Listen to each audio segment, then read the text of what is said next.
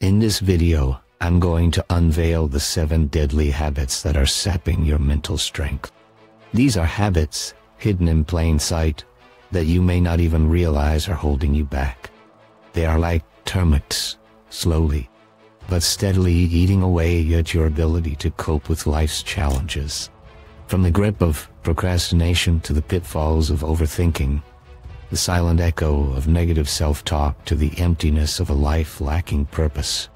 We will also delve into the discomfort you avoid, the external validation you seek, and the emotional reactivity wreaking havoc on your tranquility. These are not just habits, they are roadblocks, standing between you and your potential for greatness. Let's dive into them together. Procrastination is often the first enemy to mental strength. It sneaks in quietly, convincing you that tomorrow is a better day to start. But is it? Procrastination is like a thief that steals not just your time, but also your peace of mind.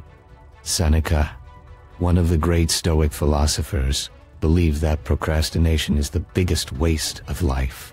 By delaying tasks, you are not just postponing your work, but your opportunities for growth. Seneca said, while we are postponing, life speeds by. Think about that for a moment. Every time you put off doing something important, you are letting precious moments slip through your fingers. This habit keeps you in a constant state of anxiety and stress as unfinished tasks pile up, becoming more daunting with each passing day. Let's take a closer look at the life of Marcus Aurelius, another Stoic philosopher.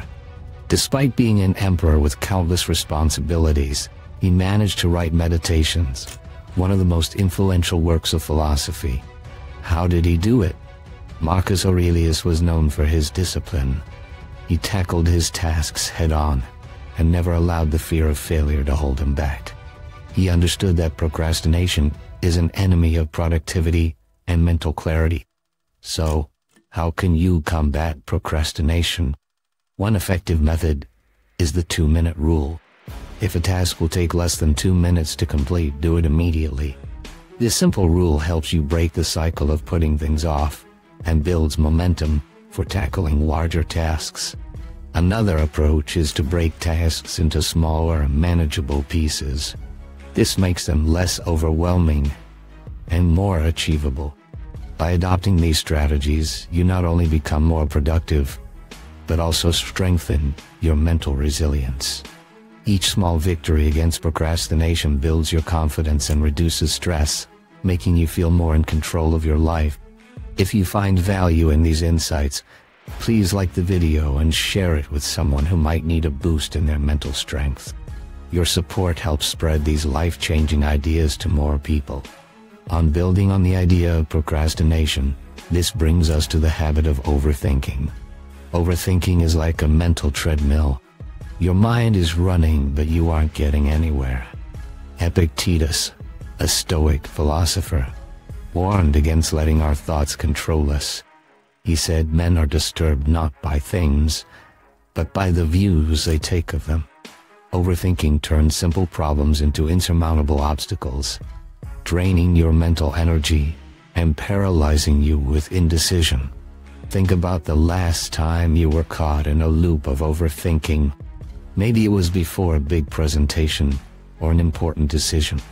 You weighed every possible outcome, imagined worst case scenarios, and replayed past mistakes. This mental chatter keeps you stuck in a state of fear and uncertainty, making you mentally weak and unable to take decisive action. Consider the example of Zeno of Citium, the founder of Stoicism. Zeno was shipwrecked and lost all his wealth. Instead of dwelling on his misfortune, he embraced his new reality. He focused on what he could control, his thoughts and actions, and went on to establish a new philosophical school. Zeno understood that overthinking the past or future is futile. It is the present moment that demands your attention and action. To overcome overthinking, start by practicing mindfulness. Mindfulness teaches you to stay present and fully engage with the current moment. Techniques like deep breathing and meditation help quiet the mind and bring clarity. Another effective strategy is to set a time limit for decision making. Give yourself a fixed amount of time to consider your options, then make a choice and move on. This reduces the mental burden and prevents you from spiraling into endless contemplation. By curbing the habit of overthinking, you free up mental space for creativity, focus, and effective problem solving. You become more resilient and capable of facing challenges head on. If these insights resonate with you, please leave your thoughts in the comments below. Your feedback is valuable and helps create content that truly makes a difference. I'm building on the idea of overthinking. This brings us to the destructive habit of negative self-talk. Negative self-talk is that inner critic that whispers, you're not good enough, you'll never succeed, or why even try. This constant barrage of self-doubt chips away at your confidence and mental fortitude, leaving you feeling incapable and unworthy.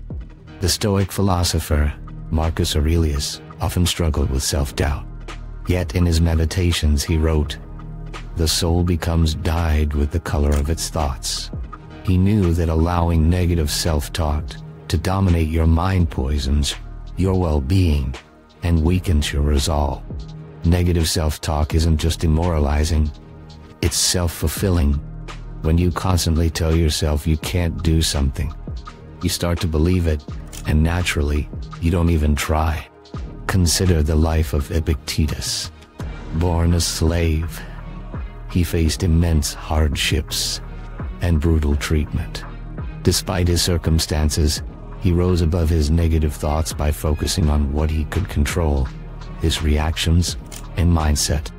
Epictetus taught, it's not what happens to you, but how you react to it that matters. By rejecting negative self-talk, he transformed his life and became one of the most respected philosophers of his time.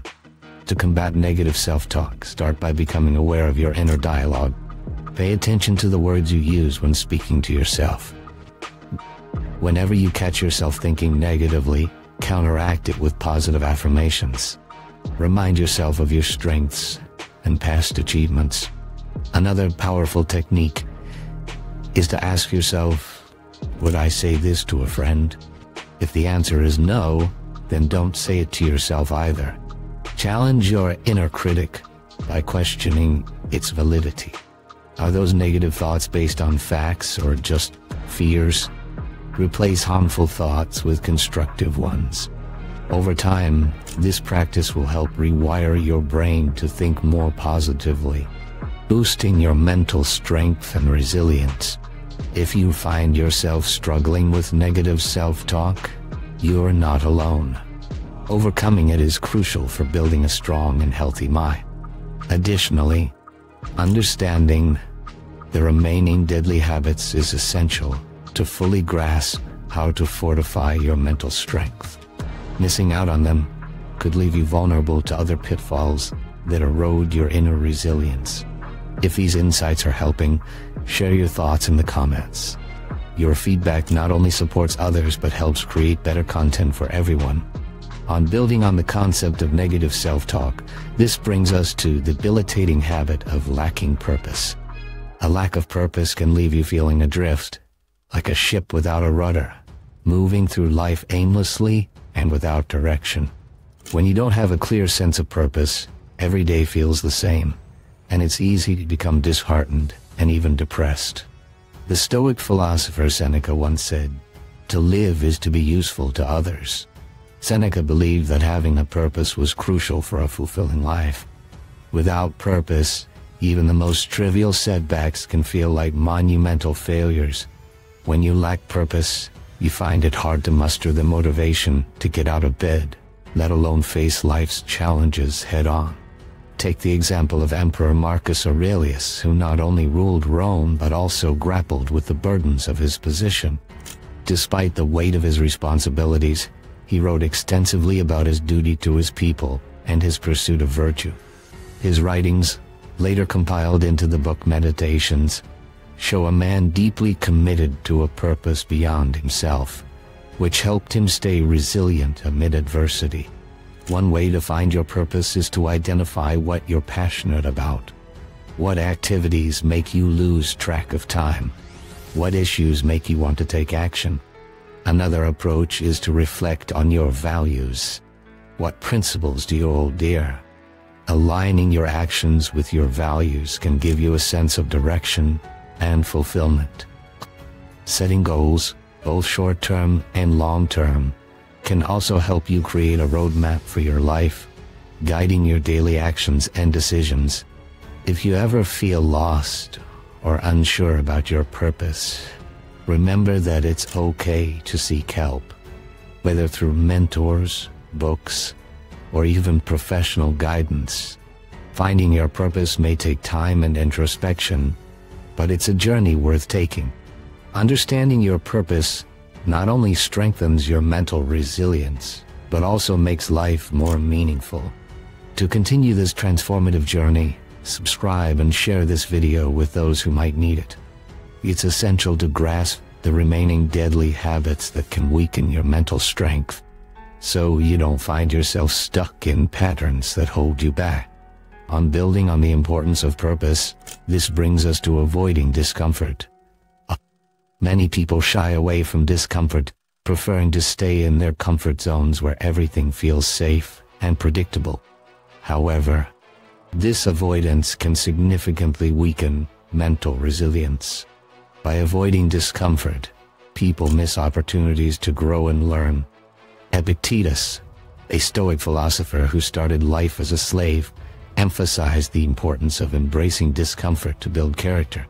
He famously said, Difficulties are things that show a person what they are. Rather than avoiding hardship, Epictetus believed in facing it head on, understanding the challenges or opportunities to strengthen the mind and spirit.